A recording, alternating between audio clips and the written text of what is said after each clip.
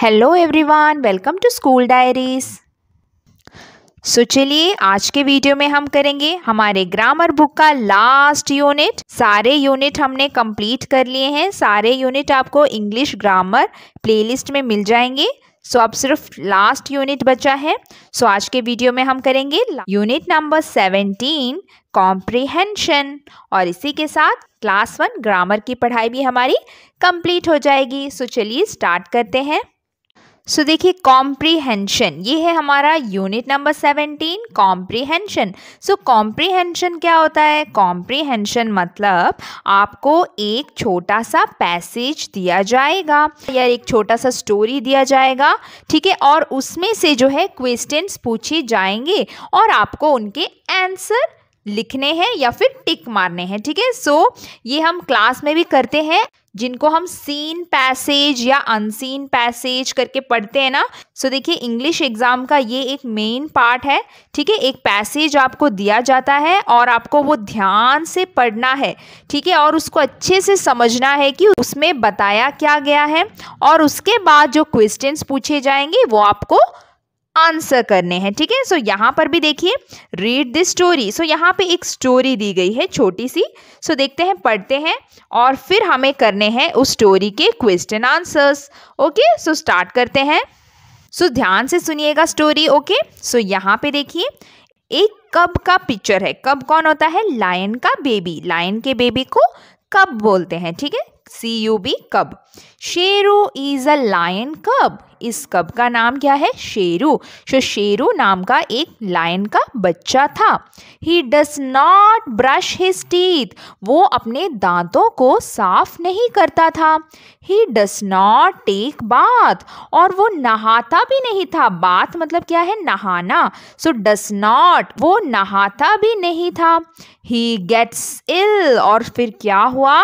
ना वो ब्रश करता था, ना नहाता था मतलब वो अपनी बॉडी को बिल्कुल भी साफ़ नहीं रखता था। सो so, क्या हो गया? ही गेट्स इल वो बीमार हो गया। His mother takes him to a doctor तो उसकी मम्मी ठीक है लायनस जो कब की मम्मी है वो उस शेरू को एक डॉक्टर के पास ले गई।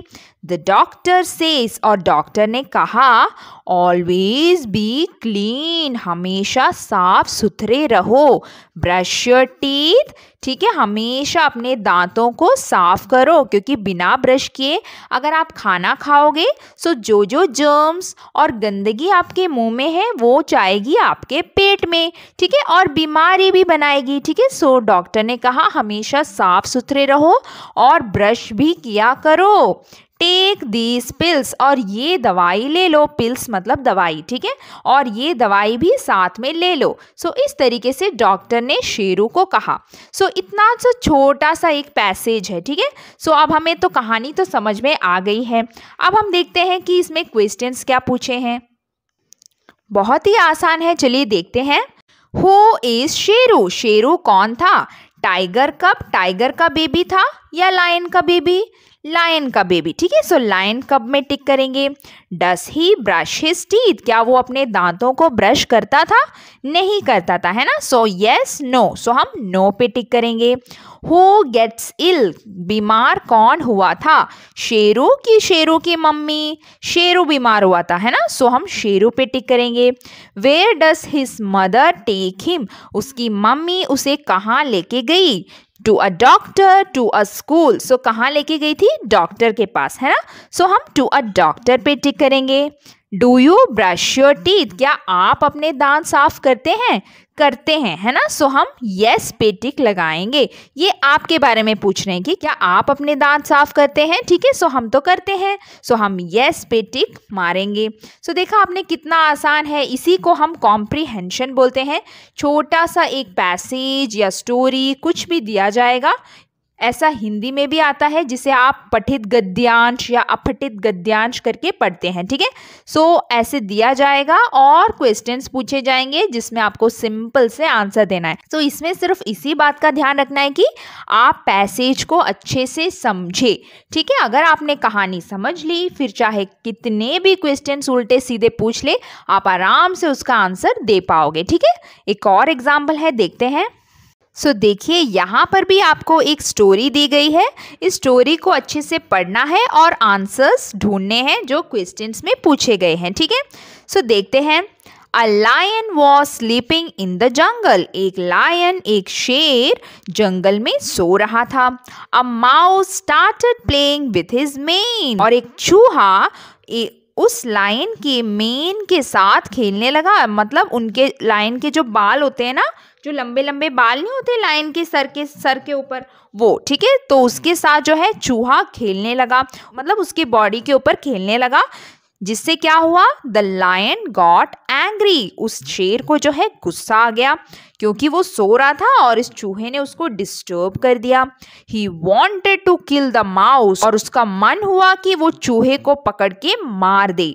द माउस सेड माउस ने बोला, चूहे ने बोला don't kill me I may help you later मुझे मत मारो। क्या पता मैं तुम्हारे कल काम आऊँ? क्या पता मैं तुम्हें कल हेल्प करूँ? ठीक है सो आज मुझे मत मारो। कभी किसी और दिन मैं तुम्हारी मदद कर सकता हूँ। इस तरीके से चूहे ने कहा द लायन लॉफ्ट तो शेर को जो है हँसी आ गई और उसने भी सोचा, ये चूहा क्या मदद करेगा मेरा? ठीक है? पर उसको हँसी आ गई और उसने फ्रीड द माउस यानी उसने माउस को फ्री कर दिया, छोड़ दिया। One day the lion was caught in a net और एक दिन लायन जो है फंस गया।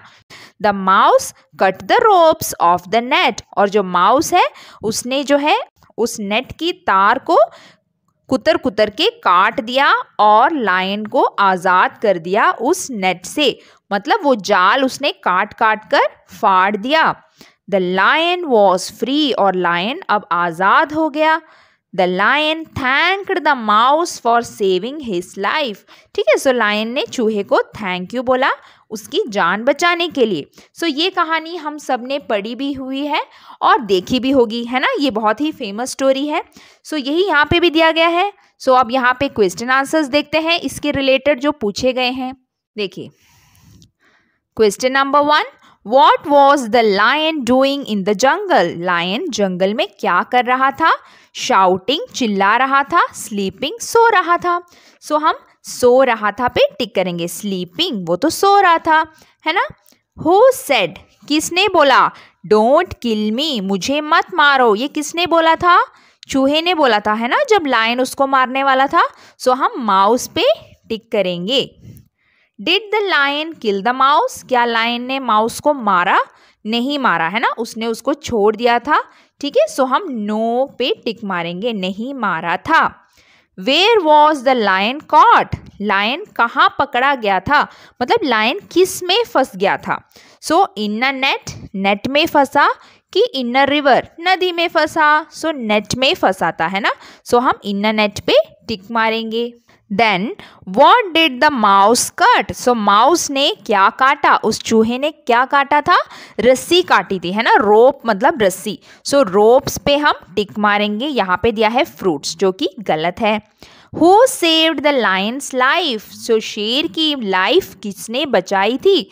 शेर की जान किसने बचाई थी? माउस ने, ठीक है, यहाँ पे हंटर दिया है, हंटर मतलब शिकारी, ठीक है तो शिकारी तो बताया नहीं यहाँ पे कहानी में तो हम हम माउस पे टिक मारेंगे क्योंकि माउस ने लाइन की जान बचाई थी। सो देखा कितना आसान है, अगर आपको स्टोरी आती है तो आप आसानी से ये सब कर सकते हो। क्वेश्चन आंसर्स अब आगे देखते हैं। और यहाँ पर दिया है एक और एग्ज़ाम्पल इसमें देखिए कुछ कहा नहीं गया है, न स्टोरी सो देखिए पहले एग्ज़ाम्पल में स्टोरी भी थी और एक पिक्चर भी था। दूसरे एग्ज़ाम्पल में सिर्फ़ स्टोरी थी, कोई पिक्चर नहीं था। अब तीसरे एग्ज़ाम्पल में सिर्फ़ पिक्चर है और ना कुछ बताया गया है। ना यहाँ पे कुछ लिखा हुआ है, ठीक है? सो इसको हम बोलते हैं हिंदी में चित्र वर्णन मतलब एक चित्र दिया जाएगा और उस चित्र को देखकर आपको क्वेश्चन आंसर्स करने हैं। ये हिंदी में भी आता है है ना? जिसे हम चित्र वर्णन बोलते हैं। एक पिक्चर देते हैं और प्रश्न पूछे जाते हैं और हमें वो प्रश्नों के उत्तर पे सही निशान लगाना पड़ता है। तो वही है ये इंग्लिश में, ठीक है? पिक्चर कंपोजिशन बोलते हैं इसको। ठीक है मतलब पिक्चर देखकर आंसर करना। सो so, यहाँ पे पिक्चर देखकर हमें पता चल रहा है कि ये एक स्कूल का पिक्चर है और यहाँ पे क्या क्या हो रहा है। और यहाँ पे जो है बहुत सारे बच्चे खेल रहे हैं कुछ बच्चे खाना खा रहे हैं ठीक है? और एक टीचर यहाँ पे खड़ी है और ये कौन है? स्कूल का प्यून प्यून कौन होता है? जो स्कूल के कामों में हेल्प करता है। यानी एक असिस्टेंट होता है, जैसे कि बेल बजाता है स्कूल में, प्रिंसिपल और टीचर्स की हेल्प करता है, ठीक है? सो, वो प्यून होता है। सो, अब देखते हैं इसके क्वेश्चंस क्या पूछे गए हैं। देखिए which place is shown in this picture इस पिक्चर में कौन सी जगह दिखाई गई है? सो अ स्कूल अ हॉस्पिटल सो, कौन सी जगह है? स्कूल का पिक्चर है, ठीक है? सो, स्कूल पे टिक मारेंगे। Who is ringing the bell bell कौन बजा रहा है? अ मेड एक मेड बजा रही है या एक प्यून? सो so, हम प्यून पे टिक मारेंगे। Then what is going on क्या चल रहा है? उस पिक्चर में क्या चल रहा है? प्रेयर चल रहा है कि रिसेस रिसेस मतलब लंच ब्रेक सो पिक्चर देख के हमें पता चल गया कि रिसेस चल रहा है क्योंकि बच्चे खाना खा रहे हैं और खेल रहे हैं ना? सो so, प्रेयर नहीं है रिसेस है. सो so, रिसेस पे टिक मारेंगे.